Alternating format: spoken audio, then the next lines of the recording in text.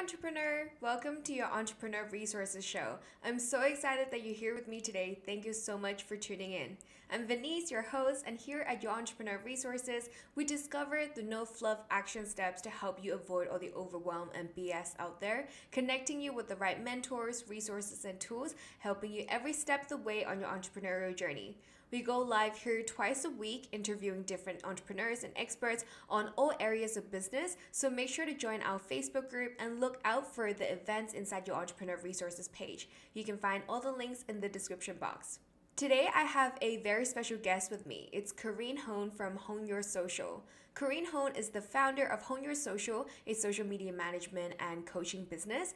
Hone Your Social was born in March of 2019, and since then, Corinne has sold out her full service social media management packages and has moved into business coaching for creatives. Corinne is going to let us in on how to use Instagram to attract, nurture, and sell to your dream clients. Without further ado, let's dive right into this week's interview. Thank you for joining me, and I'm so excited to have you here with me. Do you want to tell us more about your business and your journey first?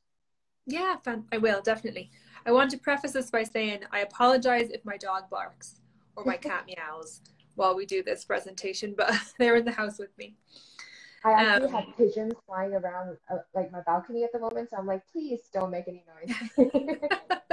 it happens. I guess that's what we all have come to get used to while working from home more and more. So, um, but yeah, about my business. So my business is Hone Your Social. It's a social media management and Instagram coaching business. Um, my coaching side of things focuses on supporting service based entrepreneurs and other coaches to use Instagram to attract, nurture, and sell to their dream clients so they can scale. And I absolutely love what I do because I get to connect with amazing action taking entrepreneurs every single day. Um, I think it's a real collaborative experience and I really, really love it. That's amazing. What makes you decide to start your entrepreneurial journey? Because I feel like a lot of the time people might have been working in a corporate job and they decided to switch or they want more freedom, they want more financial freedom. What what's the main reason that you decided to switch and turn into yeah your own boss? yeah, so um, I come from the nonprofit world. I worked in the nonprofit um, world in Guatemala for four years before um, I moved to the US. So I'm from Ireland originally, but I live in the US now. That's where my husband is from. And when I moved here, I had to go through the green card application process. I wasn't allowed to work. Um, and I just got really bored at home. And I was looking for different opportunities and fun things to do to kind of fill my days while I waited for my work permit to come in.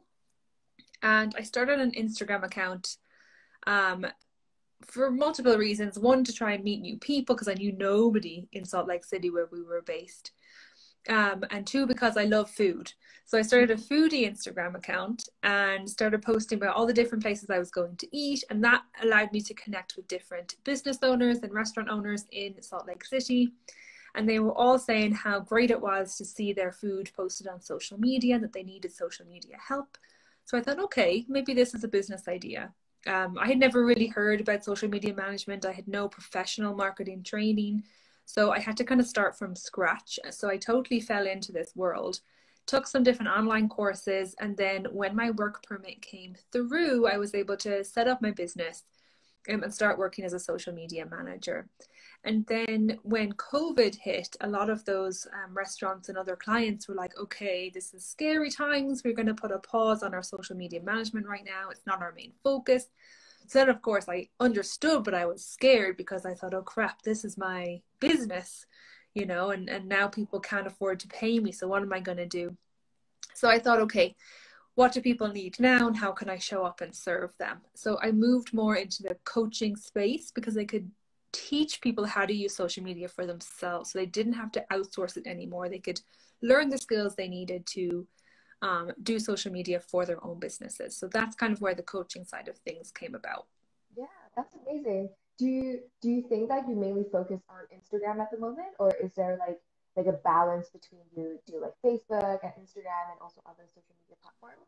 Yeah, for my social media clients, it's a whole range from, you know, LinkedIn, Facebook, Instagram, Twitter, whatever they need. But my favorite platform to use is Instagram. So I focus mostly on Instagram when it comes to coaching. So cool. What do you think is the main reason that you focus on Instagram? Because I know that a lot of people are thinking that Instagram is so saturated and there are just mm-hmm. so many people on there already. Like, how do you even stand out? Like, what's that main reason that you decided to focus on Instagram? Yeah, it's a great question. So the reason I love it is because there's so many different features, and that means there's so many different ways for you to connect with your dream client. So by features, I mean um, like you can post in the feed, you can post to your stories, you can create reels now, um, you can go live just like we're doing. You can do an Instagram TV series. Now there's guides. There's so many different ways to use Instagram. Um, so you can pick and choose the features that work best for you. And the features you think your audience most enjoys and stand out from the crowd that way. So some people now love using reels, other people focus on stories. It's not all about posting in the feed anymore. Mm, I love that. What speaking of guides, I'm actually very curious. Have you tried it out before? Like have you used it yet? No, I have not used it yet. No, I am. I'm in the middle of a big launch, which I know we're going to talk about. So that's been taking up all my time. So I have not got to try guides yet, mm. but I'm really excited to try it. Yeah, it's kind of like a blog, right? Um, yeah. yeah. Really sure what it is really. yeah, as far as I understand, it's like longer form content that you can share and like have commentary on. But I need to like dig deep into it and see if it would be yeah. useful for me to use. Yeah, definitely.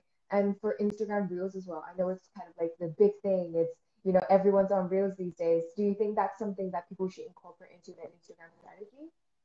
So I'm a big believer in only doing what you enjoy when it comes to marketing. Um, if you can outsource in other ways, then that's fantastic. But if you're taking charge of your Instagram account, you should only do what you like to do. So I tried Reels and I would suggest everyone to try them to see if it's something that you like. I did not like making Reels. Oh, I it took me way too long. It was taking me like an hour to make a 15 second video, and I thought this is just not a good use of my time. But other people are much faster at it. They're much more creative at it, and they can have really good experience. So everyone's unique in that aspect. So I think try it, and if you like it, keep it up. If you don't, then that's totally fine. I think that's such a strong message because nowadays everybody says, you know, go on TikTok, go on Clubhouse, go on Instagram but then yeah. if you don't like it, you're gonna hate like your work, and that's not the point about being an entrepreneur, right? You don't yes. want to be hating like going waking up in the morning being like, oh, I have to make that Reel video, and I don't want to make Instagram video. so I know that's the worst feeling, yeah. and it's not sustainable for you. Then you'll just give up. Yeah. So what do you think is the main focus for you then in terms of Instagram? Do you think you should focus on posts or story or even IGTV? Yeah, I'd say if you if you don't know which features would work best test them out test them all out i would recommend definitely posting your feed consistently so maybe two three times a week i would also suggest posting to stories every single day i love instagram stories because it allows you to give like a richer experience of your brand and your message and just you personally to your audience which i think is only a good thing and then the other feature I recommend everyone to use is the link in your bio. I think that can be overlooked sometimes, but make sure you have a working link, link that you have a strong call to action in your bio so that your audience knows exactly what you want them to do when you click that link. I think that's really important. Do you think that, you know, a lot of people use Linktree. Do you think mm-hmm. that you should do like use a platform like Linktree or would you recommend using a single link going to one landing page? I think it depends on where you're at in your business um, and what you're trying to achieve at that moment. I would say switch up your link in your bio is um, quite quite often. So most recently, uh, I think in the last two months, I've changed the link in my bio three times. So one, I wanted to bring more people to into my freebie and into my email list. So I was promoting my free resource in the link in my bio. And then at the start of this month, I was hosting a free masterclass. So then I wanted people to sign up for the masterclass. And now I'm promoting um, like this launch that I'm going through. So now there's a link to that page, mm-hmm. like a sales page with more information. So I think it's totally okay to switch it up often. It also keeps your bio interesting because it changes on a regular basis. Link trees are good in a sense that you can link lots of different pages, but it can be confusing to somebody new to your page if they click on a link tree and there's like 10 different options for them to go and explore they might end up not exploring anything so i would say be as direct as possible yeah yeah i yeah sometimes i go into people's link in bio and then i like just open that page up and i see 20 options and i'm like no i have no clue which one to click on yeah. and i'm just gonna go back out now yeah so i totally understand yeah. the dog scared me sorry. I knew that would happen. You know what I mean? oh. Another tip I was going to say about the link in your bio is that if you don't have a website like me, I've been in business almost two years and I still don't have a website because it takes me too long to make one on my own. And I didn't have the money to invest up until this point. This is a goal I have for 2021. I would love to get my website up and running. But when you're starting out, money can be tight um, and time can be tight as well. So if you don't have a website, um, a really cool app I used was the Milkshake app, um, and you can make a branded Insta website for free. So it's like a landing page, um, and you can use your brand colors and kind of just give like an about section um, on who you are and kind of speak directly to your target audience um, in a little bit more detail on there. Um, and it also has includes clickable links. Um, so I think it's like a a better version of Linktree. Mm-hmm. So inside you can like add the link to your program and like your yeah. freebie. Oh, that's super cool. Yeah. Okay, yeah. milkshake, right? Milkshake, yeah, and it's all okay. done for free just from your phone. It's really really easy to use. Mm-hmm. Okay, cool. Definitely put it inside the description so other people can check it out as well. Do it's useful. Yeah. Cool. And do you have any other tips regarding to Instagram growing and attracting your um, target audience and your ideal audience into your business? Yes, definitely. So I call it the um, three S's. So you want to show up, serve, and then sell. Um, so by showing up, it means that you're consistently making use of all those Instagram features that we already touched on. Um, that you have a strategy in place and you're able to um, replicate that strategy week after week on a consistent basis. So you're always showing up and you're just giving people an opportunity to find you and connect with you. So that's like the first step. And then um, the second step is to serve them. So as your audience grows, you want to be able to serve and nurture them. Um, and I like to put out content that's educational, inspiring, and empowering. That's kind of my main focus.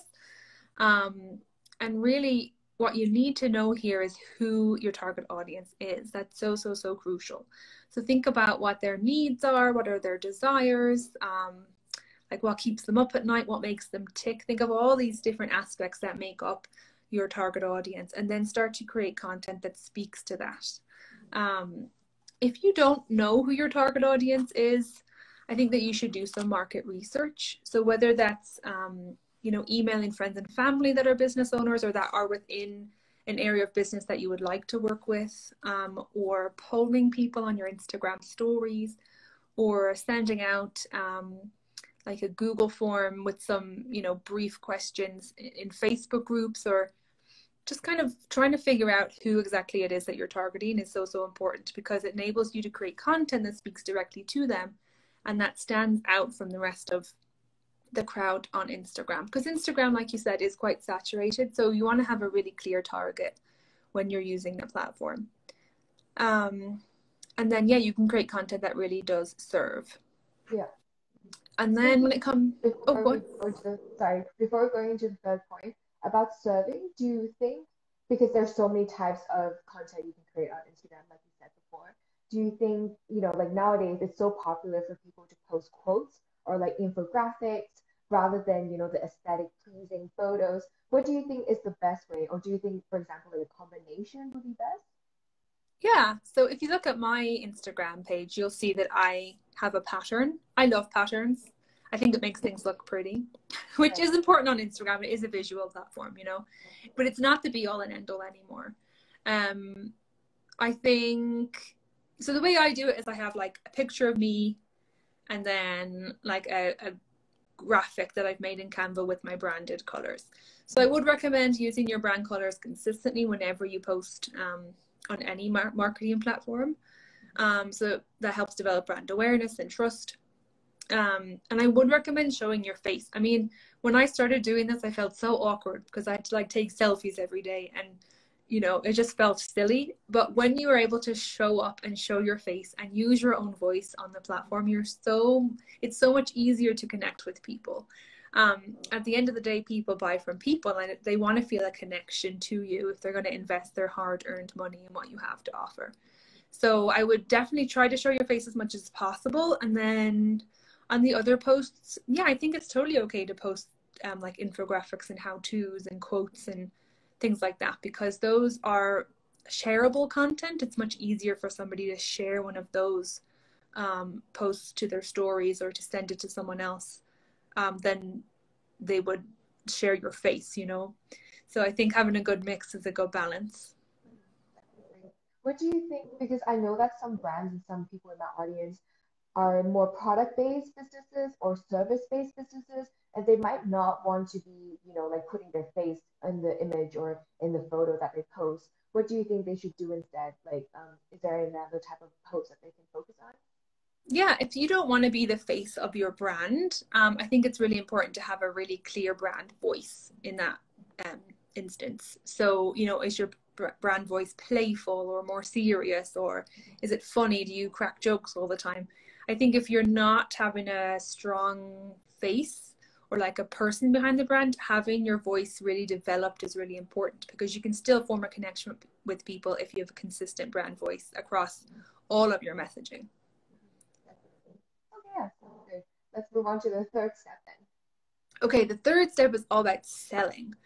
Um, and the biggest light bulb moment for me when it comes to selling your services or your products is to focus not so much on what on the specifics of what you're offering but the transformation that you're offering somebody so um, people pay for results they want to know that what they're buying or what they're investing in is going to get them something that they need or want and they want results you know they want something to be easier for them or better for them or um, whatever it is, we pay for results. So when you're selling, try to focus on um, like sharing testimonials from clients, sharing social proof. So um, any feedback you've gotten or any messages, screenshots of messages from past clients or customers saying how, you know, wonderful this was and why.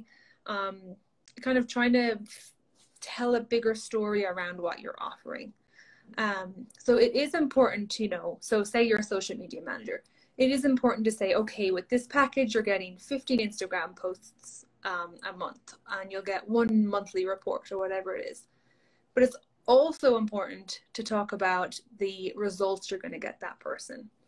Um, so, you know, yeah, you're going to be saving them time, you're going to be giving them peace of mind um, you're going to help them increase their brand awareness and hopefully help them increase their sales. So the more you can focus on the bigger picture and the results, the easier it is to sell to somebody. Yeah, I think a lot of the time people are very scared to sell on Instagram, right? I feel like they're like, oh yeah, like I'm going to give a, as much value as possible, which is super important. But it can be a bit scary to be like, hi, um, here's my sales page, please check it out. What do you think is like your top tip or tips to help people get through that mindset block? Yeah, it definitely is a big mindset hurdle. So I would say basically, if you are not showing up and talking to people about how you can serve and help them, they're never going to know that you have the support that they need. And then they're still going to need it and they're going to be stressed out or worried or um, like discouraged. It is kind of up to us to put ourselves out there and get out of our comfort zones show up and tell people that we have the solutions to their problems. Mm-hmm. So it is scary, but when you come at it from a point of service, I think it makes it a little bit easier. And I would also try to build in sales messaging into your content on a consistent basis so that it becomes easier for you to talk about it and people um, become aware of what you have to offer and then are much more likely to want to learn more or want to buy from you in the future. But it is a long term process. It's not like you're going to do one post about you know your services and then like 10 people are going to buy from you. I wish it was that easy but it's not. You have to build it in over time um, and work it into your messaging bit by bit. Yeah. When you say work it into your messaging do you mean for example when you make a post like mention the kind of program you have or the clients you have yeah, so it can be across all the different Instagram features. Um, I definitely would say post about it. Um, and then have a really strong call to action like check out the link in my bio to learn more or apply the link in my bio now like have a strong call to action in your posts but then also in your stories um, if you're using instagram stories i would share screenshots of results from people share testimonials so that way you're selling through the results and then also don't be afraid to jump on and talk directly to the camera and say oh this is what i'm working on right now um, or like tease people about a launch that you have coming up. Like you can build it in bit by bit so then people it doesn't hit people out of the blue when you have a special offer. So if you can tease it beforehand in like two weeks before you have a bigger offer or a launch happening they've become used to hearing about it and they might be excited to learn more yeah. so yeah i think yeah think of it as a long-term process and don't be afraid to bring it in here and there speaking of launch I know that you have been posting a little bit here and there about your launch, mm-hmm. and you finally launched yesterday, right? Um, yes. Yes. Tell us more about your program and everything. Yeah. Yes. Well, thank you. Um, yeah. So I just launched my first ever online course, the six week self study program, and it's called the Instagram Money Making Blueprint. So it kind of goes into detail, like dives deep into what we've been discussing today. So it's all about how to use Instagram in a holistic way with your business to attract, nurture, and sell to your dream clients.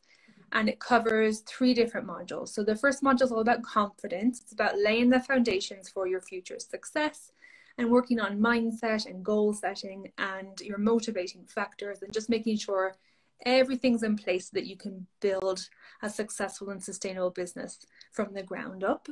And then module two is all about clarity. So, gaining clarity on who your target audience is, what your messaging is, your brand voice, your content pillars, your Instagram strategy, all that good stuff. Very, very strategic. And then the third module is all about clients. So, it's all about how to sell, the psychology of selling, and then also how to make it easy for people to work with you by building a seamless onboarding sequence um, and just making sure everything is in place so that your clients have a fantastic experience with you. So it's for service based entrepreneurs and coaches. So, you know, whether you're a wellness coach or a fitness coach or a social media manager or a photographer, there's so much good stuff in there for you. So, at the link in my bio, there is a link um, to uh, a page with more information, and I'd love you guys to go check it out. That's amazing. Oh my gosh. I, I think I have to go check it out myself. Do. Yeah. Um, just one final question before we wrap this up um, if you were to start your entire Instagram profile from zero today, from scratch, what do you think you'd focus on the most, like right away? Oh my goodness, what a good question. Um, I would focus on niching down. And I know it's scary when you start out to think, oh gosh, if I niche down and if I only focus on one specific part of the market, then that's so many other people I'm not going to be speaking to and so many other people that I won't be able to serve. But when you are able to niche down and have a very small target audience and create content just for them, you stand out so much easier on Instagram. Um, so, what I mean by that is imagine you are a copywriter and for one of my past clients decided to niche down into the eco and sustainable friendly business niche. It's quite small, you know. Um, so that was her decision to niche, niche down into that um, target audience and she was scared because she thought well you know now like restaurant owners won't won't like work with me or whatever it is and while that was a real fear what she learned was that as soon as she niched down and as soon as she started putting out content that was specific to her target audience she became the authority in copywriting on instagram for that niche so that meant that people who are business owners in the sustainability industry knew that she was the person to go to and answer their questions. They were much more likely to reach out and ask her a question than they would a copywriter who focused on restaurants. Mm-hmm. Um, and she was able to sign, oh gosh, like multiple clients in our 12 months together. And she was able to um, completely leave her old life behind and move to a different country and live the laptop lifestyle. And it just amazing. completely changed her lifestyle. And it was all through the power of niching. So I think that is what I would want every small business owner or every person just starting out to think about is really know your target audience and don't be afraid to put out content just for them. That's amazing. I think that's such a great advice, especially even if you're not starting out from scratch. A lot of people might have, you know, like not that many followers. And although followers are not the only number, like it's not the only number that matters, but it's good to know that, you know, like that one tip, like honing it, honing in on your specific niche and knowing who you're serving. I think that's such a powerful message. Thank you so much for sharing. Yes, I hope that people learn something from this. Um, yeah. Yeah, and if anyone has any questions afterwards or wants more detail, just send me a message. I'm happy to help. Yeah, where can people find out more about you besides on Instagram? Well, Instagram is my main point of call. I love it. Um, but I also have a Facebook a Facebook group called the Empowered Entrepreneur Collective. Um, and it's a really great community of um, fellow entrepreneurs, and we support each other. Um, so if you would like to join us, we'd love to have you. I'll put everything in the description box, so make sure to check those out. And thank you again so much. We go live here every single week, twice a week actually. So make sure to tune in. And thank you so much. And I'll wrap this up. Um, again, good luck on your launch, and I will speak to you soon. Thank you so much. Have a great weekend. You too. Bye. Bye. There you have it. Hope you got a ton of value because I certainly did. Corinne has a very special free gift for you her free Instagram engagement boosting workbook with engagement boosting tips that you can start using right away. I also have the free entrepreneur resource library for you. It has the No Tech Confusion resource library, 40 plus ebooks, cheat sheets, mini courses, and a lot more. So make sure to check it out in the description box. We have our live interviews twice a week, so make sure to stay tuned. Thank you so much for being here, and I'll see you in the next one.